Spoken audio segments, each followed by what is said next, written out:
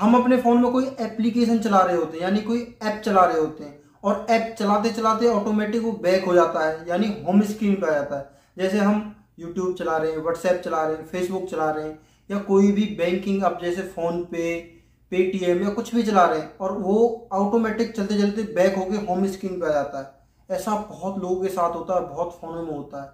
और जब ऐसा होता है ना तो सच में दिमाग खराब हो जाता है। क्यों? हम किसी को पैसे ट्रांसफ़र कर रहे हैं। उसमें अकाउंट नंबर डाला है बड़ी मुश्किल से, और उसमें उसका आई कोड डाला है, और उसको हम पे करने वाले तेरे फ़ोन बैक हो गया होम स्क्रीन पे आ गया। इस दिक्कत से क्या आप भी परेशान हैं? दोस्तों, मैं भी इस दिक्कत से परेशान था, और इस प्रॉब्लम से रिलेटेड मेरे पास बहुत सारे कस्टमर आते हैं, क्योंकि ये प्रॉब्लम सिर्फ़ आपको नहीं, बहुत लोगों के फ़ोन में होती है, यानी कि 95 परसेंट लोगों के फ़ोनों में ये प्रॉब्लम होती है।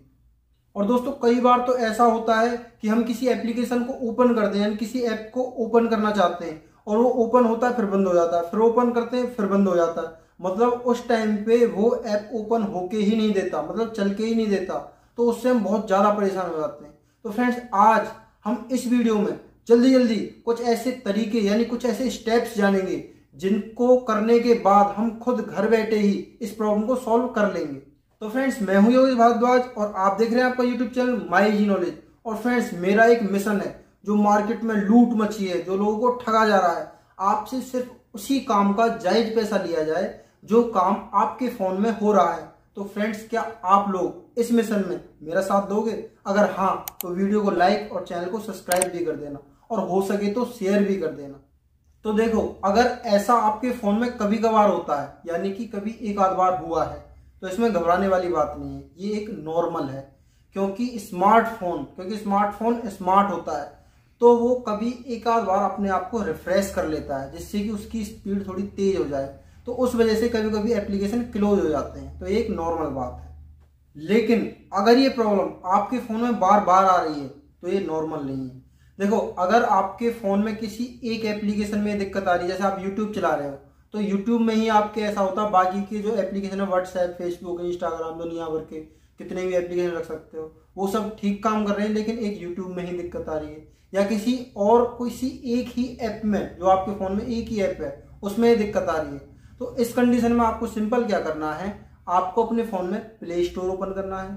प्ले स्टोर ओपन करने के बाद उसमें सर्च में उस ऐप का नाम सर्च करना है। उसके बाद वो एप्लीकेशन आ जाएगा।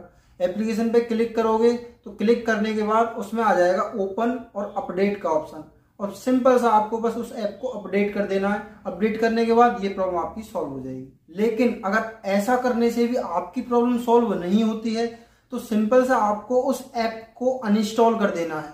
अनइंस्टॉल तो आपको करना ही आता होगा, जैसे प्ले स्टोर में गए, वहाँ जो ओपन का ऑप्शन आ रहा था, वहाँ पे अपडेट का ऑप्शन आ रहा वहीं से अनइंस्टॉल का भी ऑप्शन आता है, अपडेट करने के बाद आ जाता है। वहाँ से उसको अनइंस्टॉल कर देना अगर अनइंस्टॉल करने का ऑप्शन नहीं आ रहा है, क्योंकि कुछ एप्लीकेशन ऐसे होते हैं जो फ़ोन के सिस्टम के एप्लीकेशन होते हैं, जिनको हम अनइंस्टॉल नहीं कर सकते।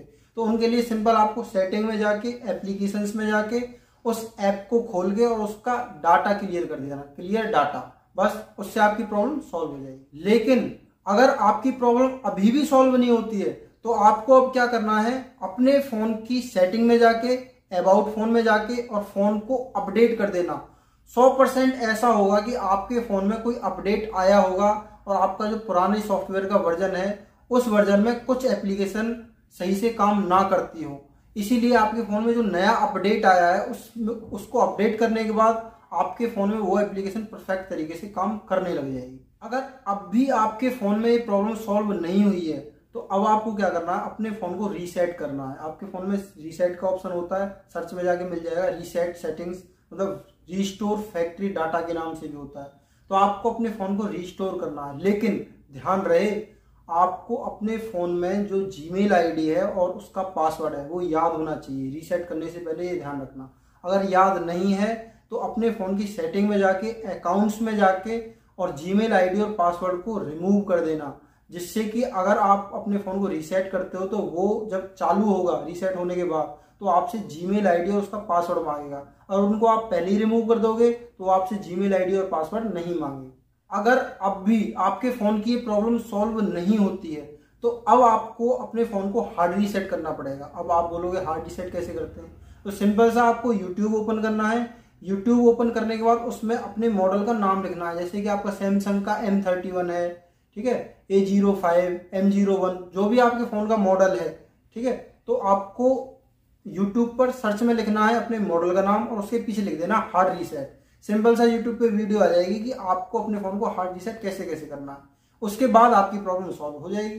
ध्यान देना कि हार्ड रीसेट करने से आपकी प्रॉब्लम 99.9 परसेंट ठीक हो जाएगी। लेकिन अगर ऐसा करने से भी आपकी प्रॉब्लम सॉल्व नहीं होती है तो ये समझ लेना कि आपके फ़ोन का जो सॉफ्टवेयर है, वो करप्ट हो गया है। तो आपको अपने फ़ोन में सॉफ्टवेयर ही डालना पड़ेगा। अगर आपके पास लैपटॉप है तो आप देख लोगे यूट्यूब पे डालेंगे कि अपने फ़ोन में सॉफ्टवेयर कैसे डालना है। लेकिन अगर आपके पास लैपटॉप या कंप्यूटर नहीं है तो आपको सिंपल सा शॉप पे जाना पड़ेगा और वहाँ पे जाके आपको सॉफ्टवेयर डलवाना पड़ेगा। सॉफ्टवेयर का मैं आपको प्राइस बता दूँ, कम से कम दो सौ प्राइस है और ज़्यादातर 200 के अराउंड में ही सॉफ्टवेयर सारे फ़ोनों में हो जाते हैं। लेकिन कुछ मॉडल ऐसे होते हैं जिनमें सॉफ्टवेयर आसानी से नहीं होता है किसी किसी में बूट कनेक्ट करने के लिए उसमें जंपर करना पड़ता है फ़ोन को खोलना पड़ता है, तब जाके सॉफ्टवेयर होता है तो उनका तीन सौ, चार सौ, पाँच सौ हाँ आठ सौ रुपये तक भी सॉफ्टवेयर का रेट होता है। लेकिन वो स्पेशल मॉडल है और महँगे मॉडल होते हैं, उन्हीं में इतना खर्चा आता है, नहीं तो दो सौ रुपये में आपकी ये प्रॉब्लम सॉफ्टवेयर डलवाने की इससे सॉल्व हो जाती है। आशा करता हूँ आपको जानकारी अच्छी लगी होगी। आपको अपने फ़ोन की प्रॉब्लम का समाधान मिल गया होगा। लेकिन अगर ऐसी कोई बात है, ऐसी कोई प्रॉब्लम है, जो मैंने इस वीडियो में डिस्कस नहीं करी है तो आप कमेंट कर देना। या फिर आपकी कोई ऐसी प्रॉब्लम है, आप चाहते हो कि उस पर वीडियो बनाई जाए तो वो भी आप कमेंट कर देना, मैं कोशिश कर दूँगा नेक्स्ट वीडियो उसी टॉपिक पे बनाऊँ। तो फ्रेंड्स, मिलते हैं किसी नेक्स्ट वीडियो में एक नई प्रॉब्लम के साथ और उसके समाधान के साथ।